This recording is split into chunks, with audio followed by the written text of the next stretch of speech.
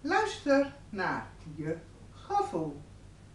Een gedicht van Pina van pinajones.nl Luister naar je gevoel.